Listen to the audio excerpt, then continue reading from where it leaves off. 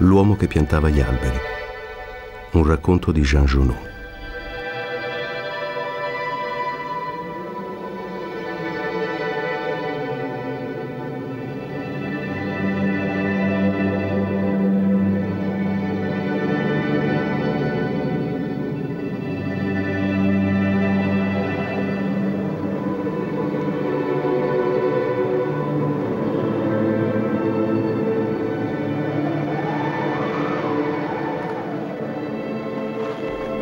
Una quarantina circa di anni fa stavo facendo una lunga camminata tra cime assolutamente sconosciute ai turisti in quell'antica regione delle Alpi che penetra in Provenza.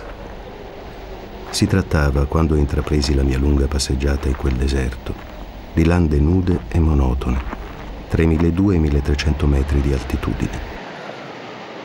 L'unica vegetazione che vi cresceva era la lavanda selvatica. Attraversavo la regione per la sua massima larghezza e dopo tre giorni di marcia mi trovavo in mezzo a una desolazione senza pari. Mi accampai di fianco allo scheletro di un villaggio abbandonato. Non avevo più acqua dal giorno prima e avevo necessità di trovarne. Quell'agglomerato di case, benché in rovina, simile a un vecchio alveare, mi fece pensare che dovevano esserci stati, una volta, una fonte o un pozzo. C'era di fatti una fonte, ma secca.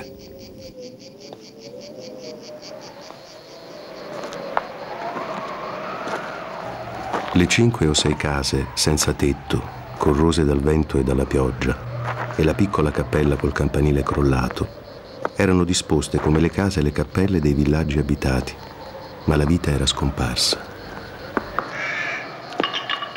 Era una bella giornata di giugno, molto assolata ma su quelle terre senza riparo e alte nel cielo, il vento soffiava con brutalità insopportabile. I suoi ruggiti nelle carcasse delle case erano quelli di una belva molestata durante il pasto. Dovetti riprendere la marcia.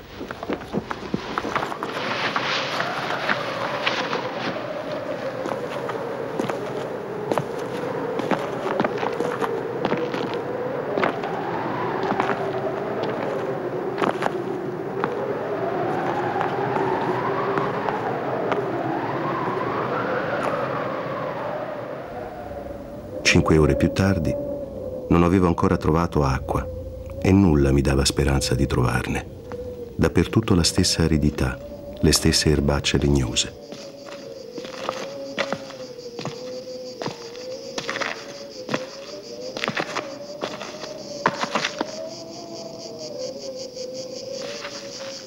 Mi parve di scorgere in lontananza una piccola sagoma nera, in piedi la presi per il tronco d'un albero solitario.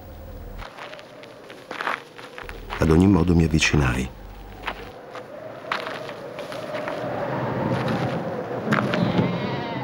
Era un pastore. Una trentina di pecore sdraiate sulla terra cocente si riposavano accanto a lui.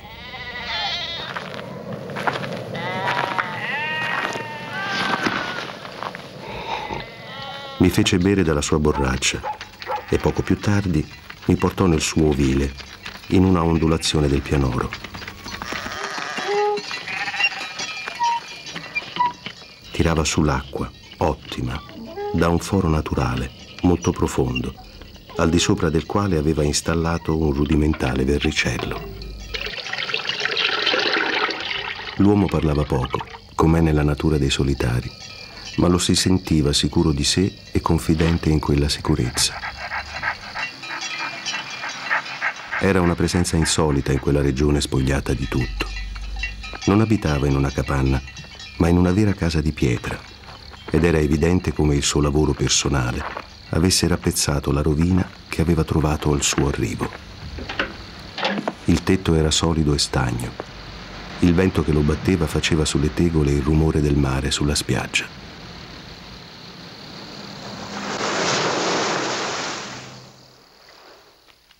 La casa era in ordine, il pavimento di legno spazzato, il fucile ingrassato, la minestra bolliva sul fuoco. Notai anche che l'uomo era rasato di fresco, che tutti i suoi bottoni erano solidamente cuciti che i suoi vestiti erano rammendati con la cura minuziosa che rende i rammendi invisibili.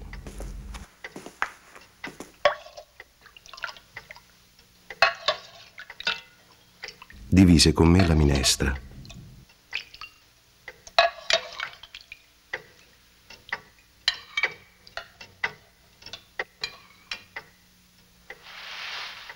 Quando gli offrì la borsa del tabacco, mi rispose che non fumava.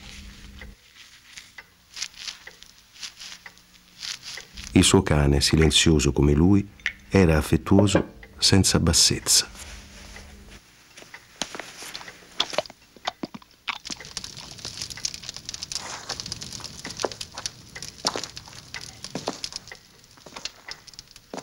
Era rimasto subito inteso che avrei passato la notte da lui. Il villaggio più vicino era più di un giorno e mezzo di cammino. E oltretutto conoscevo perfettamente il carattere dei rari villaggi di quella regione. Ce ne sono quattro o cinque sparsi lontani gli uni dagli altri sulle pendici di quelle cime, nei boschi di querce al fondo estremo delle strade carrozzabili. Sono abitati da boscaioli che producono carbone di legno. Sono posti dove si vive male. Le famiglie, serrate l'una contro l'altra in quel clima di una rudezza eccessiva, d'estate come d'inverno, esasperano il proprio egoismo sottovuoto. L'ambizione irragionevole si sviluppa senza misura, nel desiderio di sfuggire a quei luoghi. Gli uomini portano il carbone in città con i camion e poi tornano. Le più solide qualità scricchiolano sotto quella perpetua doccia scozzese. Le donne covano rancori. C'è concorrenza su tutto, per la vendita del carbone come per il banco di chiesa, per le virtù che lottano tra di loro, per i vizi che lottano tra di loro e per il miscuglio generale dei vizi e delle virtù, senza posa. Per sovrappiù, il vento altrettanto senza posa irrita i nervi. Ci sono epidemie di suicidi e numerosi casi di follia, quasi sempre assassina.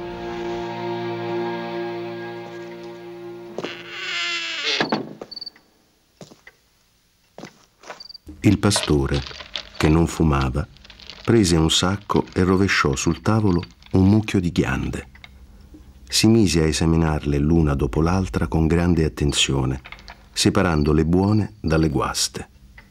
Io fumavo la pipa, gli proposi di aiutarlo, mi rispose che era affare suo. In effetti, vista la cura che metteva in quel lavoro, non insistetti. Fu tutta la nostra conversazione.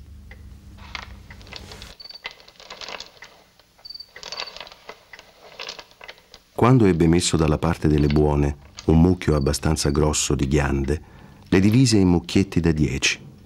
Così facendo, eliminò ancora i frutti piccoli o quelli leggermente scripolati, poiché li esaminava molto da vicino.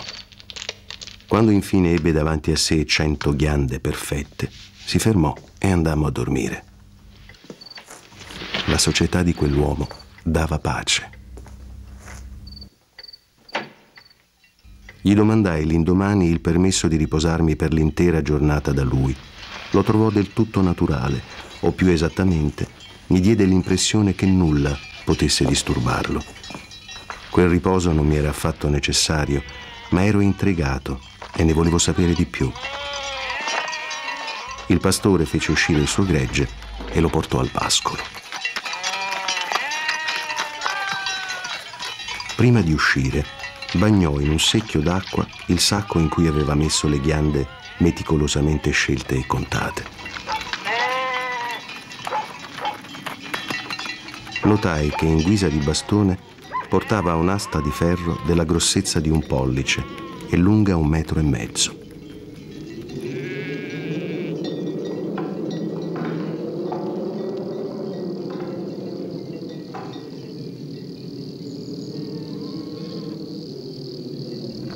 Feci mostra di voler fare una passeggiata di riposo e seguii una strada parallela alla sua.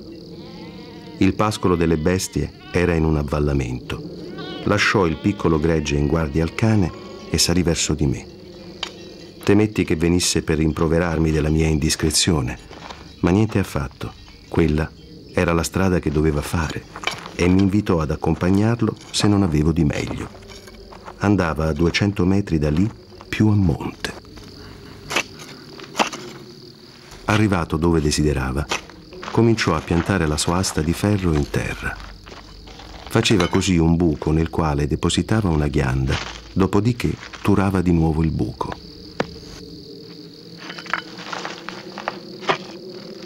Piantava querce. Gli domandai se quella terra gli apparteneva.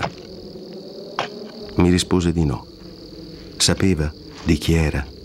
Non lo sapeva supponeva che fosse una terra comunale o forse proprietà di gente che non se ne curava.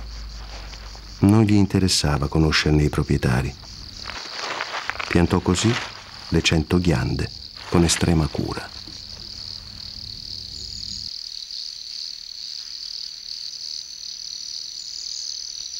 Dopo il pranzo di mezzogiorno ricominciò a scegliere le ghiande. Misi, credo, sufficiente insistenza nelle mie domande, perché mi rispose. Da tre anni piantava alberi in quella solitudine. Ne aveva piantati centomila. Di centomila ne erano spuntati ventimila. Di quei ventimila contava di perderne ancora la metà a causa dei roditori o di tutto quello che c'è di imprevedibile nei disegni della provvidenza. Restavano diecimila querce che sarebbero cresciute in quel posto dove prima non c'era nulla. Fu a quel momento che mi interessai dell'età di quell'uomo. Aveva evidentemente più di 50 anni. 55, mi disse lui. Si chiamava Elzear Bouffier.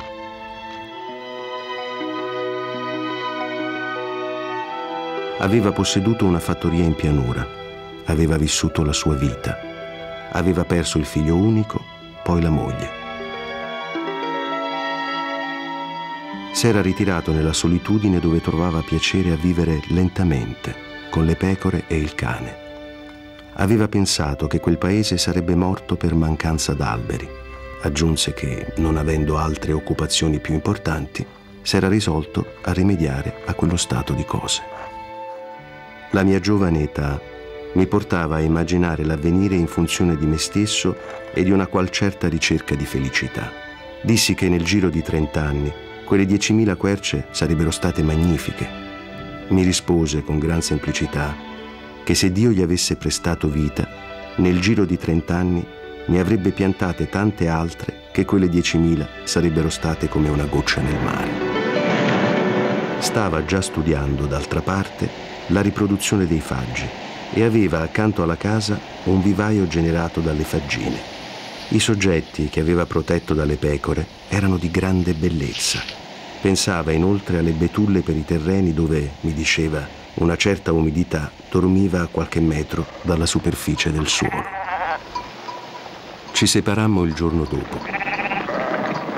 L'anno seguente ci fu la guerra del 14, che mi impegnò per cinque anni.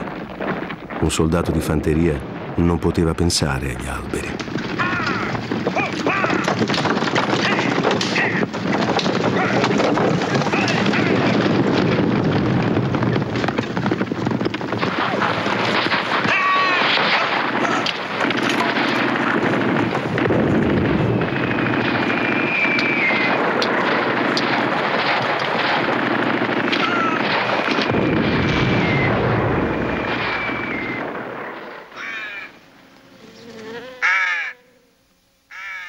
Finita la guerra, mi trovai con un'indennità di congedo minuscola, ma con il grande desiderio di respirare un poco d'aria pura.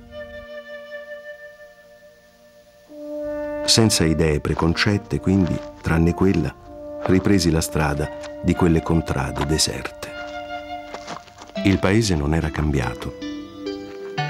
Tuttavia, oltre il villaggio abbandonato, scorsi in lontananza una specie di nebbia grigia che ricopriva le cime come un tappeto. Dalla vigilia m'ero rimesso a pensare a quel pastore che piantava gli alberi. Diecimila querce, mi dicevo, occupano davvero un grande spazio.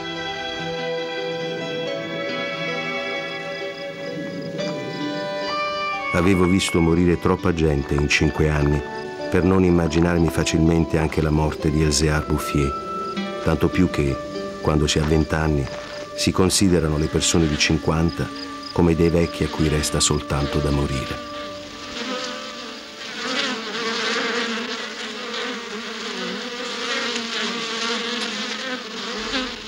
Non era morto, era anzi in ottima forma. Aveva cambiato mestiere. Gli erano rimaste solo quattro pecore, ma in cambio possedeva un centinaio di alveari. Si era sbarazzato delle bestie che mettevano in pericolo i suoi alberi. Non s'era per nulla curato della guerra. Aveva continuato imperturbabilmente a piantare. Le querce del 1910 Avevano adesso dieci anni ed erano più alte di me e di lui. Lo spettacolo era impressionante. Ero letteralmente ammutolito e poiché lui non parlava, passammo l'intera giornata a passeggiare in silenzio per la sua foresta. Misurava in tre tronconi 11 chilometri nella sua lunghezza massima se si teneva a mente che era tutto scaturito dalle mani e dall'anima di quell'uomo, senza mezzi tecnici, si comprendeva come gli uomini potrebbero essere altrettanto efficaci di Dio in altri campi, oltre alla distruzione. Aveva seguito la sua idea e i faggi che mi arrivavano alle spalle, sparsi a perdita d'occhio, ne erano la prova. Le querce erano fitte e avevano passato l'età in cui potevano essere alla mercé dei roditori. Quanto ai disegni della provvidenza stessa per distruggere l'opera creata, avrebbe dovuto ormai ricorrere ai cicloni. Bouffier mi mostrò dei mirabili boschetti di betulle che datavano a cinque anni prima, cioè al 1915, l'epoca in cui io combattevo a Verdun. Le aveva piantate in tutti i terreni dove sospettava, a ragione, che ci fosse umidità quasi a fior di terra. Erano tenere come delle adolescenti e molto decise. Il processo aveva l'aria, d'altra parte, di funzionare a catena. Lui non se ne curava, perseguiva ostinatamente il proprio compito. Ma ridiscendendo al villaggio, vidi scorrere dell'acqua in ruscelli che a memoria d'uomo erano sempre stati secchi. Era la più straordinaria forma di reazione che abbia mai avuto modo di vedere. Quei ruscelli avevano già portato dell'acqua in tempi molto antichi. Alcuni dei tristi villaggi di cui ho parlato all'inizio del mio racconto sorgevano su siti di antichi villaggi gallo-romani, di cui restavano ancora vestigia, nelle quali gli archeologi avevano scavato, trovando ami in posti dove nel XX secolo si doveva far ricorso alle cisterne per avere un po' d'acqua. Anche il vento disperdeva certi semi. Con l'acqua erano riapparsi anche i salici, i giunchi, i prati, i giardini, i fiori e una certa ragione di vivere. Ma la trasformazione avveniva così lentamente che entrava nell'abitudine, senza provocare stupore. I cacciatori che salivano in quelle solitudini, seguendo le lepri o i cinghiali, s'erano accorti del rigoglio di alberelli, ma l'avevano messo in conto alle malizie naturali della terra.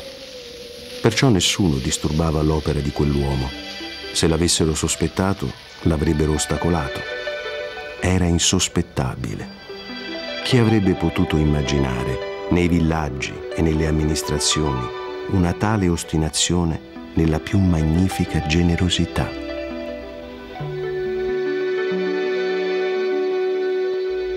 A partire dal 1920 non ho mai lasciato passare più di un anno senza andare a trovare Elzéar Bouffier. Non l'ho mai visto cedere né dubitare. Eppure Dio solo sa di averlo messo alla prova. Non ho fatto il conto delle sue delusioni è facile immaginarsi tuttavia che per una simile riuscita sia stato necessario vincere le avversità, che per assicurare la vittoria di tanta passione sia stato necessario lottare contro lo sconforto. Per farsi un'idea più precisa di quell'eccezionale carattere, non bisogna dimenticare che operava in una solitudine totale, al punto che, verso la fine della vita, aveva perso del tutto l'abitudine a parlare, o forse non ne vedeva la necessità. Nel 1933 ricevette la visita di una guardia forestale sbalordita. Il funzionario gli intimò l'ordine di non accendere fuochi all'aperto per non mettere in pericolo la crescita di quella foresta naturale. Era la prima volta, gli spiegò quell'uomo ingenuo, che si vedeva una foresta spuntare da sola. Nel 1935 una vera e propria delegazione governativa venne a esaminare la foresta naturale. C'erano un pezzo grosso delle acque e foreste, un deputato, dei tecnici. Fu deciso di fare qualcosa e fortunatamente non si fece nulla, tranne l'unica cosa utile, mettere la foresta sotto la tutela dello Stato e proibire che si venisse a farne carbone. Perché era impossibile non restare soggiogati dalla bellezza di quei giovani alberi in piena salute. Esercitò il proprio potere di seduzione persino sul deputato.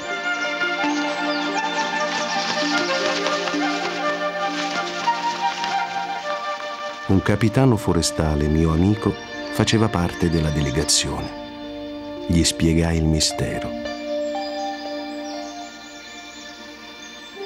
Un giorno della settimana seguente andammo insieme a cercare Elzear Bouffier.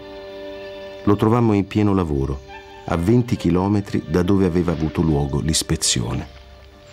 Quel capitano forestale non era mio amico per nulla, conosceva il valore delle cose. Offrì le uova che avevo portato in regalo, dividemmo il nostro spuntino in tre e restammo qualche ora nella muta contemplazione del paesaggio. La costa che avevamo percorso era coperta da alberi che andavano da 6 a 8 metri di altezza. Mi ricordavo l'aspetto di quelle terre nel 1913, il deserto. Il lavoro calmo e regolare, l'aria viva d'altura, la frugalità e soprattutto la serenità dell'anima avevano conferito a quel vecchio una salute quasi solenne. Era un atleta di Dio. Mi domandavo quanti altri ettari avrebbe coperto d'alberi. Prima di partire il mio amico azzardò soltanto qualche suggerimento a proposito di certe essenze alle quali il terreno sembrava adattarsi. Non insistette, per la semplice ragione, mi spiegò poi, che quel signore ne sa più di me. Dopo un'ora di cammino, dopo che l'idea aveva progredito in lui, aggiunse, ne sa più di tutti ha trovato un bel modo di essere felice. È grazie a quel capitano che non solo la foresta, ma anche la felicità di quell'uomo furono protette.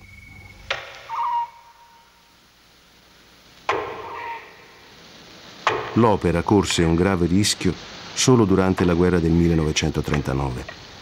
Poiché le automobili andavano allora col gasogeno, non c'era mai abbastanza legna cominciarono a tagliare le querce del 1910, ma l'area era talmente lontana da tutte le reti stradali che l'impresa si rivelò fallimentare dal punto di vista finanziario.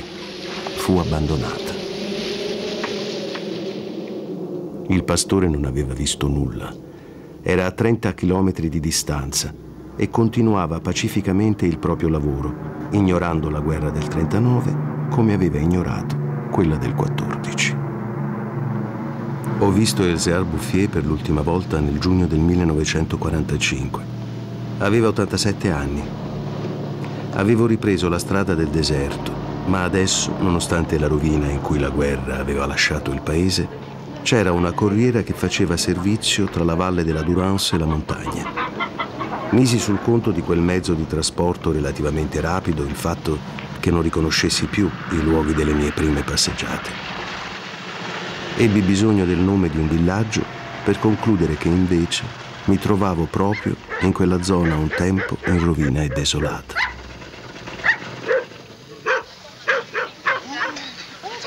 La corriera mi depositò a Vergon.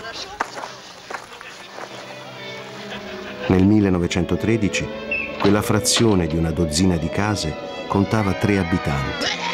Erano dei selvaggi, si odiavano, vivevano di caccia con le trappole. La loro condizione era senza speranza. Ora tutto era cambiato. L'aria stessa. Invece delle bufere secche e brutali che mi avevano accolto un tempo, soffiava una brezza docile carica di odori. Un rumore simile a quello dell'acqua veniva dalla cima delle montagne. Era il vento nella foresta. Infine, cosa più sorprendente, udì il vero rumore dell'acqua scrosciante in una vasca. Vidi che avevano costruito una fontana.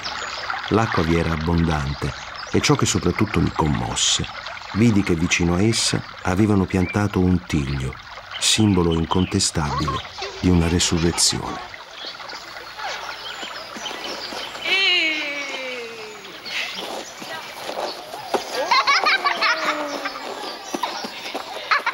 In generale, Vergon portava i segni di un lavoro per la cui impresa era necessaria la speranza. La speranza era dunque tornata.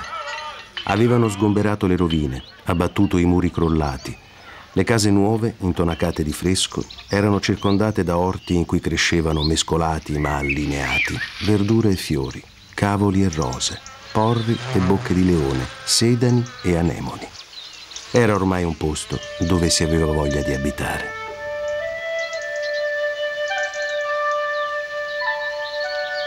Da lì proseguì a piedi. La guerra da cui eravamo appena usciti non aveva consentito il rifiorire completo della vita, ma Lazzaro era ormai uscito dalla tomba. Sulle pendici più basse della montagna vedevo i campicelli di orzo e segale in erba. In fondo alle strette vallate qualche prateria verdeggiava.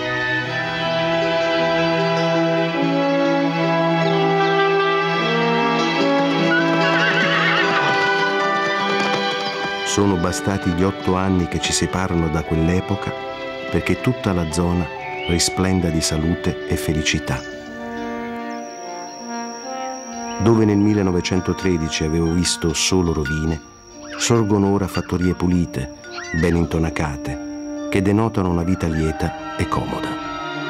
Le vecchie fonti, alimentate dalle piogge e le nevi che la foresta ritiene, hanno ripreso a scorrere a lato di ogni fattoria, in mezzo a boschetti di aceri, le vasche delle fontane lasciano debordare l'acqua su tappeti di menta. I villaggi si sono ricostruiti poco a poco. Una popolazione venuta dalle pianure, dove la terra costa cara, si è stabilita qui, portando gioventù, movimento, spirito d'avventura. Si incontrano per le strade uomini e donne ben nutriti, ragazzi e ragazze che sanno ridere e hanno ripreso il gusto per le feste campestri.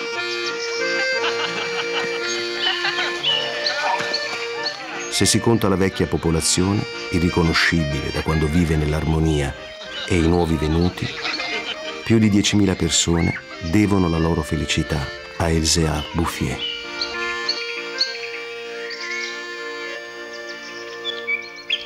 Quando penso che un uomo solo, ridotto alle proprie semplici risorse fisiche e morali, è bastato a far uscire dal deserto quel paese di Canaan, trovo che, malgrado tutto, la condizione umana sia ammirevole.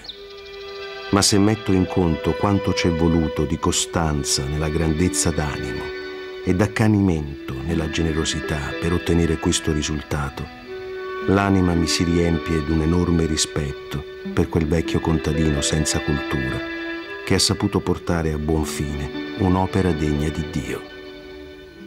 Elzear Bouffier è morto serenamente nel 1947 all'ospizio di Banon.